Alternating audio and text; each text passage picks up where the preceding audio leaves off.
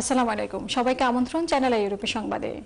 বার্তাকক্ষে আপনাদের সাথে আছি আমি হাসিনা আক্তার। শুরুতে জানিয়ে দিচ্ছি আজকের খবরের প্রধান প্রধান শিরোনাম।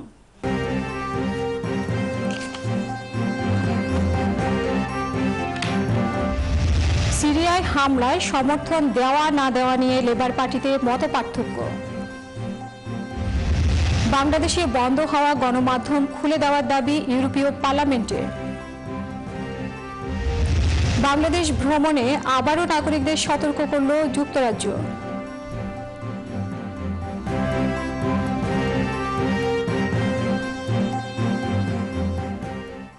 শুনছিলেন শিরোনাম, এবারে বিস্তারিত। সিরিয়ায় ব্রিটিশ বাহিনী বিমান হামলা চালানোর সিদ্ধান্ত নিলে তা সতর্ক, সমর্থন না করার কথা জানিয়েছেন ব্রিটেনের লেবার পার্টির লিডার জেরেমি করবিন। লেবার পার্টির এমপিদের কাছে লেখা চিঠিতে জেরেমি করভিন জানিয়েছেন, সিরিয়ায় বিমান হামলা চালানো সরকারি পরিকল্পনাতে তার কোনো সমর্থন নেই। এদিকে তার এই অবস্থান নিয়ে লেবার পার্টি দুভাগে বিভক্ত হয়ে পড়েছে। দলের প্রভাবশালী একটি অংশ প্রধানমন্ত্রী ক্যামেরনের প্রস্তাবনার পক্ষে অবস্থান নিয়েছেন। শ্যাডো ক্যাবিনেট একজন সদস্য জানিয়েছেন, এই নিয়ে দলের মধ্যে নানা সমালোচনা চলছে।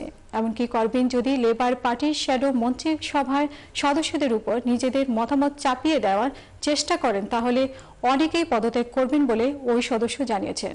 অন্যদিকে আইএস নির্মূলে সিরিয়ায় হামলা চালাতে ব্রিটিশ প্রধানমন্ত্রী ডেভিড ক্যামেরন বৃহস্পতিবার পার্লামেন্টে প্রস্তাব উত্থাপন করেছেন।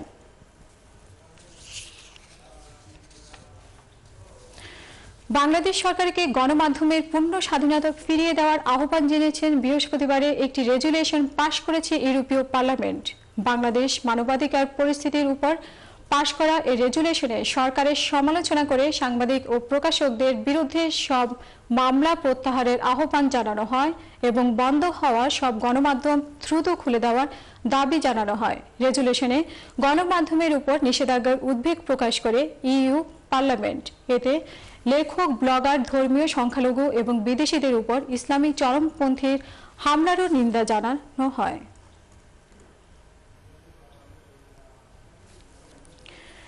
বাংলাদেশ ভ্রমণে যুক্তরাজ্যের নাগরিকদের আবারও যথাযথ সাবধানতা ও নজরদারি রাখতে বলেছে দেশটির পররাষ্ট্র মন্ত্রণালয়। সম্প্রতি বগুড়ায় শিয়া মসজিদ হামলায় একজন নিহত হওয়াকে কেন্দ্র করে সহিংস হামলায় সংখ্যায় আজ শুক্রবার এই সতর্কতা জারি করা হয় বলে ব্রিটেনের সরকারি ওয়েবসাইটে উল্লেখ করা হয়।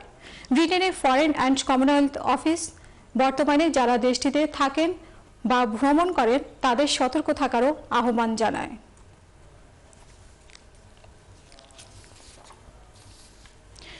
সৌদি আরবের অর্থমন্ত্রী ইব্রাহিম বিন আব্দুল আজিজ আল আসাফের সঙ্গে বাংলাদেশের অর্থমন্ত্রী আবুল মাল আব্দুল মোহিতের দ্বিপাক্ষিক বৈঠক অনুষ্ঠিত হয়েছে। সৌদি আরব থেকে আমাদের প্রতিনিধি A B M Bulbul Ahmed জানান, বৈঠক শেষে অর্থমন্ত্রী আবুল মাল আব্দুল মোহিত সাংবাদিকদের জানায়, বাংলাদেশে বিনিয়োগ বাড়ানোর আশ্বাস দিয়েছেন সৌদি আরবের অর্থমন্ত্রী। অন্যদিকে বুধবার সন্ধ্যায় পবিত্র ওমরা পালন করেন অর্থমন্ত্রী আবুল মাল আব্দুল মহিদ এ সময় সৌদি আরবে নিযুক্ত বাংলাদেশের রাষ্ট্রদূত গোলাম মসিহ জেদ্দাস্ত কাউন্সিলর জেনারেল শহীদুল করিম, আওয়ামী লীগ নেতা সেলিম আহমেদ, সাংবাদিক A B M Bulbul Ahmed সহ বাংলাদেশের কনসুলেটের কর্মকর্তাবৃন্দ উপস্থিত ছিলেন। গোলাপগঞ্জ উপজেলা এডুকেশন ট্রাস্ট ইউকে নবনির্বাচিত কমিটির সম্মানের সংবর্ধনা ও নৈশভোজের আয়োজন করে কাউন্সিলর ও ট্রাস্টের সিনিয়র ট্রাস্টি শামসুল ইসলাম সেলিম ও তার সহকর্মীরা। বুধবার উইন্সরের একটি ভেনুতে এই সংবর্ধনা অনুষ্ঠানে সভাপতিত্ব করেন ট্রাস্টের সভাপতি ফজলুল হক ফজলু। সভায় বক্তব্য রাখেন কাউন্সিলর শামসুল ইসলাম সেলিম, ট্রাস্টের সাধারণ সম্পাদক মখন মিয়া, সাবেক সভাপতি Nazmul Islam Nuru, accountant M A Mohid, Altaf Hossain vice, Iqbal Hossain A K M Abdullah, Akhtar Hossain, Belal Ahmed প্রমুখ। সভায় বক্তারা বলেন, গোলাপগঞ্জ এডুকেশন ট্রাস্ট এলাকার শিক্ষা বিস্তারের শুরু থেকে নিরবিচ্ছিন্নভাবে অবদান রাখছে।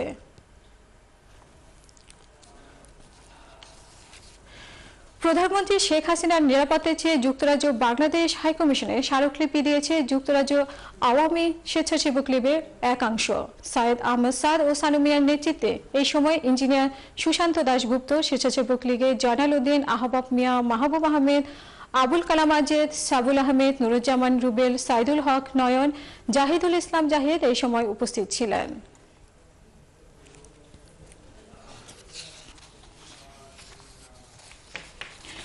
ওসমানী নগরের খুজকিপুর ইউ এমইউ হাই স্কুলের প্রাক্তন শিক্ষার্থী ফোরামের উদ্যোগে পূর্ব লন্ডনের একটি ভেন্যুতে সভা অনুষ্ঠিত হয়েছে। সভায় সভাপতিত্ব করেন সংগঠনের সভাপতি মোহাম্মদ গয়াস উদ্দিন চৌধুরী ও পরিচালনা করেন সাধারণ সম্পাদক বাতিরুল হক সর্দার। সভায় বক্তব্য রাখেন চার মিয়া আনোয়ার মিয়া, আব্দুল হামিদ, আব্দুল হাকিম, আজাদ আলী চৌধুরী আব্দুল সোভান জরিফ হোসেন, শাহজাহান খান বদুজ্জামান চৌধুরী, শাহ বিল্লাল নুরুজ্জামান প্রমুখ।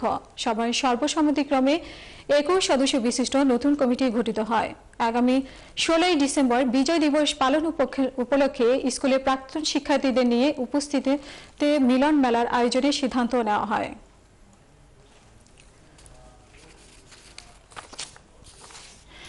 শরীয়তপুর ওয়েলফেয়ার অ্যাসোসিয়েশন ইউকে কার্যনির্বাহী কমিটির সভা অনুষ্ঠিত হয়েছে। পূর্ব লন্ডনের একটি রেস্টুরেন্টে সংগঠনের সভাপতি লকিতুল্লাহ উকিলের সভাপতিত্বে ও সাধারণ সম্পাদক আব্দুল সালাম ব্যাপারীর পরিচালনায় অনুষ্ঠানে বক্তব্য রাখেন বি এম মিনহাজ, জাকির হোসেন বাবুল মোল্লা, খন্দকার আবু তাহের, আনিসুর রহমান, কাজল ভূঁইয়া এবং মামুনুর রশিদ, মোকসেদ আলম সাংগঠনিক সম্পাদক আব্দুল রাজাক কাজী। প্রমুখ সভায় বক্তারা শরীয়তপুরের আত্মসামাজিক উন্নয়নে প্রবাসীদের ঐক্যবদ্ধভাবে কাজ করার আহ্বান জানান।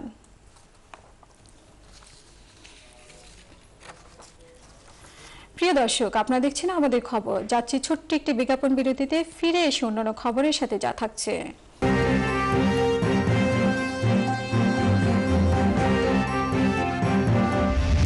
সাসেক্সে যুবলীগের প্রতিষ্ঠাবার্ষিকী পালিত।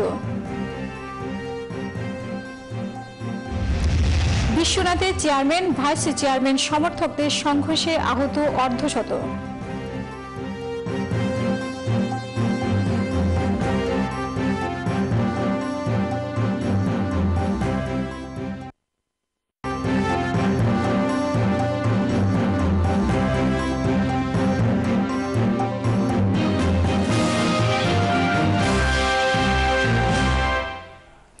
বিরতির পর আবারও আমন্ত্রণ। আমাদের খবরের সঙ্গে থাকার জন্য ধন্যবাদ।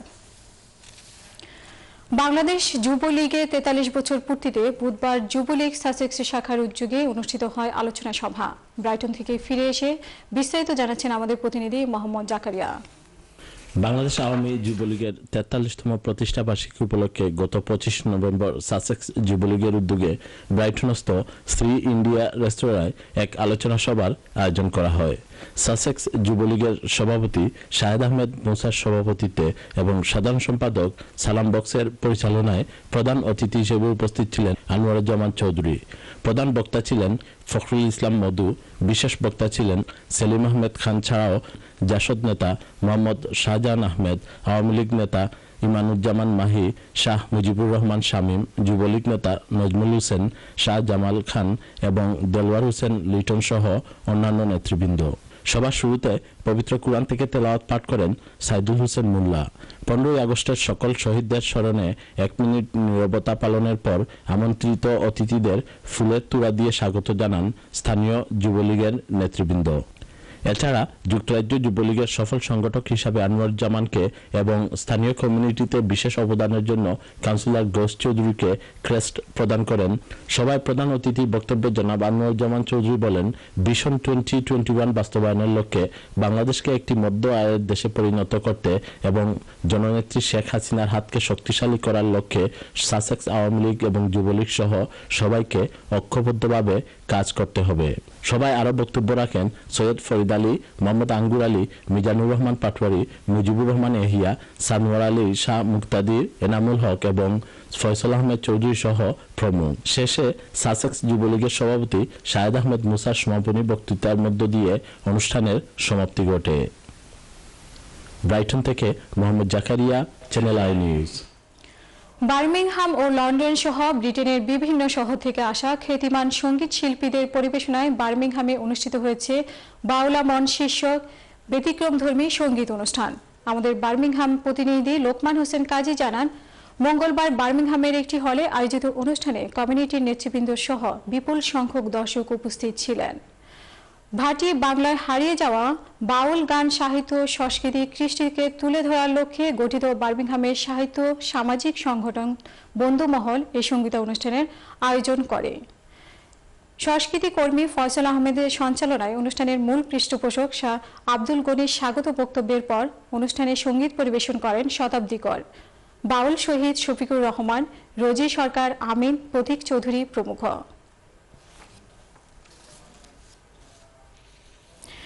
স্পেনের কাতালোনিয়ায় বসবাসরত সুনামগঞ্জবাসী সংগঠন সুনামগঞ্জ অ্যাসোসিয়েশন ইন কাতালোনিয়া বার্ষিক সম্মেলন সম্পন্ন হয়েছে।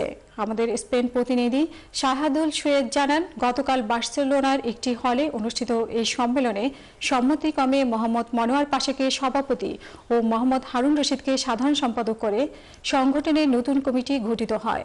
সম্মেলনে আগে সুনামগঞ্জ অ্যাসোসিয়েশন ইন কাতালোনিয়ার প্রধান উপদেষ্টা মোহাম্মদ আবু ইউসুফের সভাপতিতে অনুষ্ঠিত সভায় বক্তারা কাতালোনিয়া বসবাসত সুনামগঞ্জবাসীর মধ্যকার ঐক্য বজায় রেখে দেশের উন্নয়ন ভূমিকা রাখার আহ্বান জানান। সভায় উপস্থিত ছিলেন আনা মিয়া, ইলিয়াস মিয়া আরস আলী, ইদ্রিস আলী, আজকন্দর আলী, আব্দুল হামিদ আল আজাদ আজমল আলী, শাহ শাহজাহান শাহজাহান আহমদ মনির আলী, রোশন আলী প্রমুখ।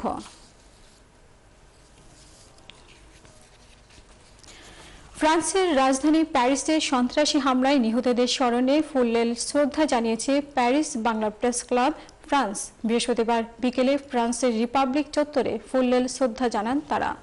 ফ্রান্স থেকে আমাদের প্রতিনিধি জানান, শুরুতেই সন্ত্রাসীদের হামলায় নিহতদের স্মৃতির প্রতি এক মিনিট নীরবতা জানানো হয়। প্যারিস বাংলা প্রেস ক্লাবের সভাপতি আবু তাহেরের সভাপতিত্বে সাধারণ সম্পাদক এনায়েত হোসেন সোহেলের পরিচালনায় এ সময় বক্তব্য রাখেন ক্লাবের সাংগঠনিক সম্পাদক লুৎফুর রহমান বাবু, ফেরদৌস করিম আখুনজি, নয়ন মামুন, দোলন মাহমুদ, সেলিম চৌধুরী, জুনেদ ফারহান প্রমুখ। বক্তারা বলেন, সন্ত্রাস ও সন্ত্রাসীদের কোনো ধর্ম নেই। যারা ধর্মের দোহাই দিয়ে নিরীহ মানুষ হত্যা করে, তারা প্রকৃত মুসলমান হতে পারে না।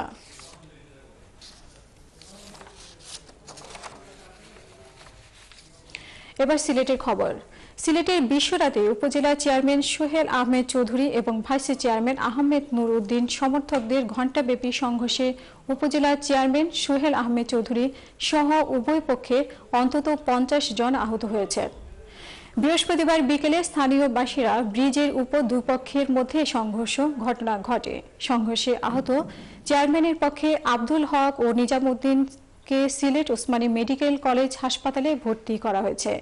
এর আগে উপজেলা পরিষদের সমন্বয়ে সভার ভাইস চেয়ারম্যান আহমেদ নূর উদ্দিনের হামলায় গুরুতর আহত হন চেয়ারম্যান সোহেল আহমেদ চৌধুরী। প্রায় ঘণ্টাব্যাপী ধাওয়া, পাল্টা ধাওয়ায় ইট পাটকেলের আঘাতে পথচারী সহ অর্ধ শতাধিক আহত হন। পরে এগারো রাউন্ড গুলি ছুড়ে পরিস্থিতি নিয়ন্ত্রণে আনে পুলিশ।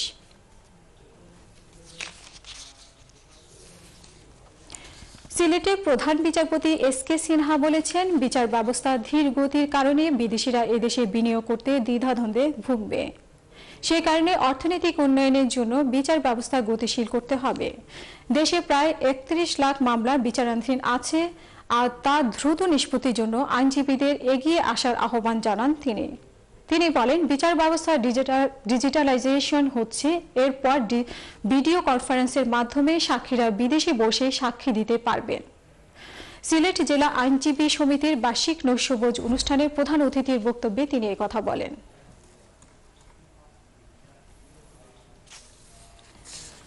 সিলেটে নয় বছরের শিশু আবু সাইদকে অপহরণ ও হত্যা মামলার সাক্ষ্য গ্রহণ সম্পন্ন হয়েছে। বৃহস্পতিবার তিনজনের সাক্ষ্য গ্রহণের মধ্য দিয়ে এই হত্যা মামলার সাক্ষ্য গ্রহণ শেষ হলো। সাইদ হত্যা মামলার সাঁত্রিশ জন সাক্ষীর মধ্যে আটাশ জনের সাক্ষ্য গ্রহণ করা হয়েছে। আগামী রবিবার এই মামলার যুক্তিতর্ক উপস্থাপন করা হবে বলে জানান আদালতে পিপি আব্দুল মালেক। গত এগারোই মার্চ নগরীর শাহ মীর সরকারি প্রাথমিক বিদ্যালয়ের চতুর্থ শ্রেণির ছাত্র আবু সাইদ অপহৃত হয়। পরে অপহরণকারীরা তার পরিবারের কাছে পাঁচ লাখ টাকা মুক্তিপণ দাবি করে। ঘটনার তিন দিন পর চোদ্দ মার্চ রাতে নগরীর ঝর্ণার পার সোনাতলা এলাকায় একটি বাসা থেকে সাইদের লাশ উদ্ধার করা হয়।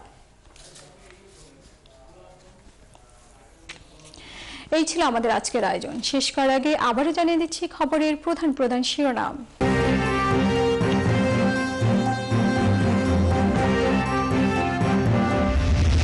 সিরিয়ায় হামলায় সমর্থন দেয়া না দেওয়া নিয়ে লেবার পার্টিতে মত পার্থক্য। বাংলাদেশের বন্ধ হওয়া গণমাধ্যম খুলে দেওয়ার দাবি ইউরোপীয় পার্লামেন্টে বাংলাদেশ ভ্রমণে আবারও নাগরিকদের সতর্ক করল যুক্তরাজ্য।